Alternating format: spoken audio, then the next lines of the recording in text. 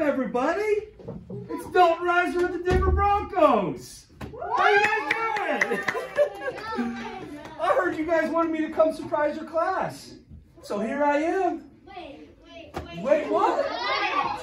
This is me, look. I'll take off, I pull down my mask. I got the tattoos. Wait, we can interrupt you now. You can interrupt her now, y'all.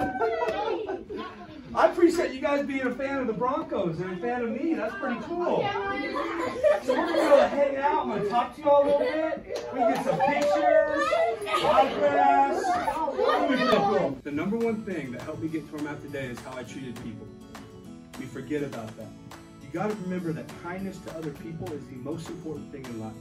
Because you could get to where I'm at, accomplish your dream, but have no one to really celebrate with because you weren't kind to people along the way. So dream, believe in yourself, treat people good, and the last thing I got for you guys is just work hard. Okay?